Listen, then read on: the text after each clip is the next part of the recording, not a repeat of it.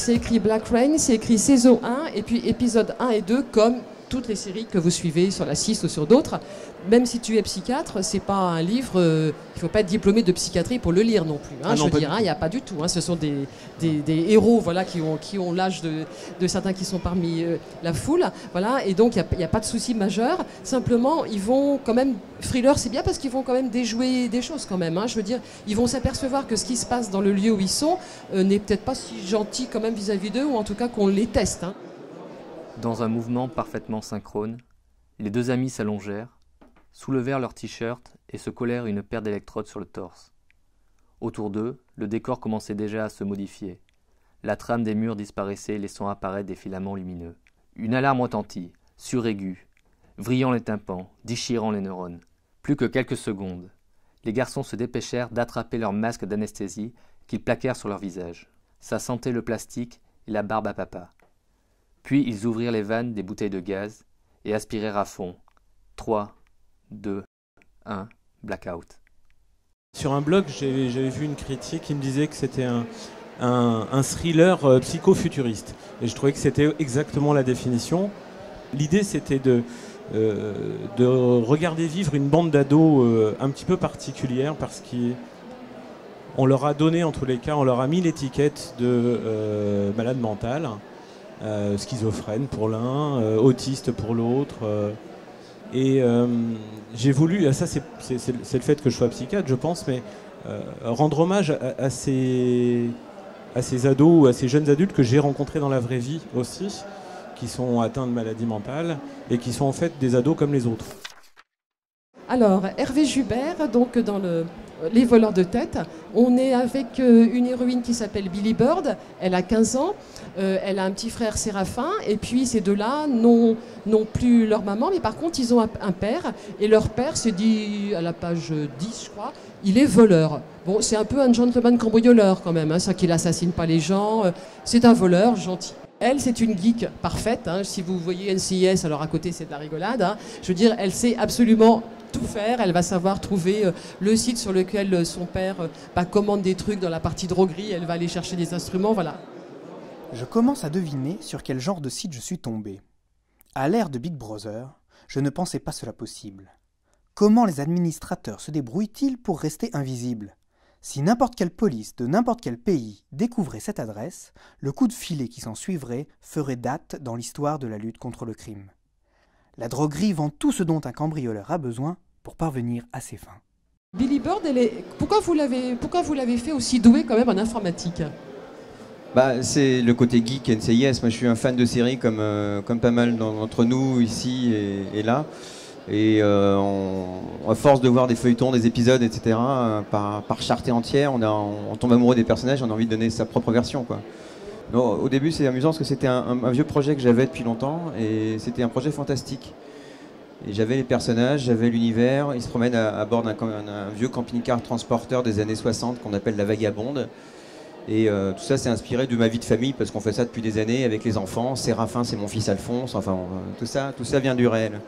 Mais je l'avais travaillé en fantastique, ça, ça marchait pas. J'arrivais pas à l'écrire. Et euh, Rajo m'a demandé si j'avais une envie de, livre. Au début, c'était qu'un livre, c'était pas une série, et ça tombait bien parce que j'avais envie d'aventure. J'ai ressorti ce projet fantastique, je l'ai transformé en aventure. Et là, ça, c'est c'est sorti tout de suite. Il y a Goulvan d'un côté et puis Laurence. Alors, bon, je vais vous montrer le livre. Moi, j'ai, franchement, j'étais mais mort de rire, je le dis quand même, hein. mais pas que, bien sûr. Au nom du Père, du Fils et de John Lennon. En fait, le principe de la série Backstage, c'est en fait de plonger euh, le lecteur à partir de 13 ans dans la naissance d'un mouvement euh, musical. Et donc, euh, bah, sur celui-là, sur la, la Pop 60s, parce que celui-là, c'est, il est sous-titré roman Pop 60s, bah, l'idée c'était de trouver un personnage qui puisse nous faire rentrer euh, dans cette espèce d'époque un peu étrange et bénie, de 64 à 65, donc ce qu'on appelle la, la Pop 60s. Quelqu'un a lu à haute voix le gros titre de l'Evening Standard. John Lennon est marié depuis presque deux ans et père d'un petit garçon de dix mois. À la table à côté de nous, deux filles ont éclaté en sanglots. Sally était livide, plus blanche que le phare qu'elle avait eu du mal à poser sur ses lèvres.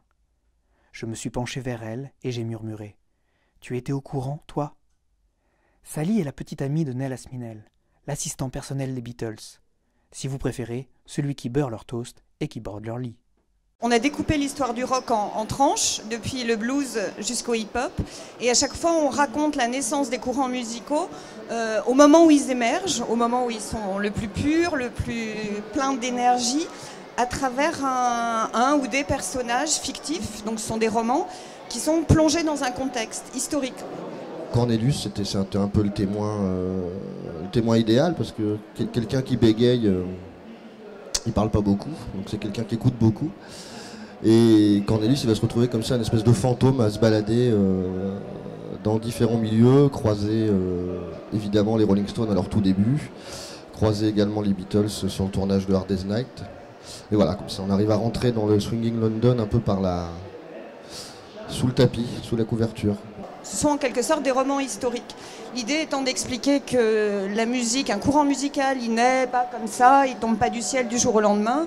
Il naît dans un contexte, il naît d'une histoire, il naît d'une sociologie, il naît aussi de l'évolution des technologies, parce que la musique a à voir avec euh, bah, l'électrification, la radio, la télévision par exemple, et que euh, en retour, euh, la musique influence l'époque dans laquelle elle se développe. Et que, par exemple, dans le roman Rock'n'Roll, on explique que euh, Chuck Berry a fait. Euh, ça va être un peu provocateur ce que je dis, mais que Chuck Berry a fait autant pour l'avancée des droits civiques, d'une certaine façon, que Martin Luther King, à sa façon, bien sûr. Mais il a aidé aussi à casser les barrières raciales.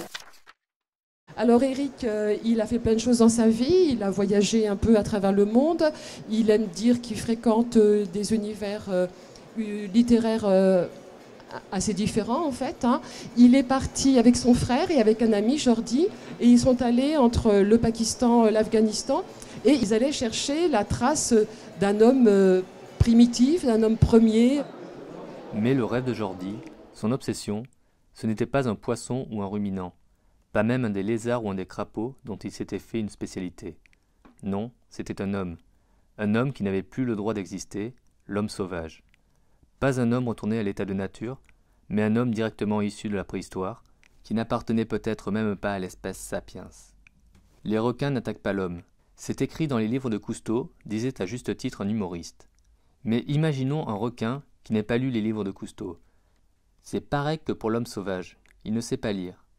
Donc, il n'a pas lu dans les livres savants qu'il n'existait pas. À l'époque où je suis parti, euh, je, m'ennuyais tellement dans, ma vie, hein, j'étais en train de préparer une, agrégation d'histoire, euh, que je serais parti à la recherche de n'importe quoi. Et je me suis un petit peu euh, raccroché au rêve d'un ami, Jordi, qui est naturaliste et dont la passion était la recherche de l'homme sauvage. Et c'est sur place, pendant ces deux ans passés à, traquer euh, ce, mystère, euh, que je me suis mis à, à croire à l'homme sauvage. C'est un récit de vie, c'est pas un, roman, hein. tout est vrai, j'imagine bien dans le livre. il y a des, récits de vie qui sont extrêmement forts, avec euh, le retour donc euh, de notre auteur ici et de son frère, et puis le redépart plus tard de Jordi qui hélas rencontrera une mort assez tragique. En plus, ce qui est très bien, c'est qu'il y a des, dessins hein, à l'intérieur du livre. C'est volontairement qu'on a inclus des images parce que ce que l'on raconte, c'est tellement à la frontière du réel et du fantastique à un moment donné, je me dis, il faut que le lecteur puisse, en voyant une photo, se dire, ah ben non, c'est pas, c'est peut-être vrai ce qu'il raconte finalement. Le monde n'est pas, n'est pas si désenchanté, en fait, il suffit de, porter dessus euh, euh, un certain regard.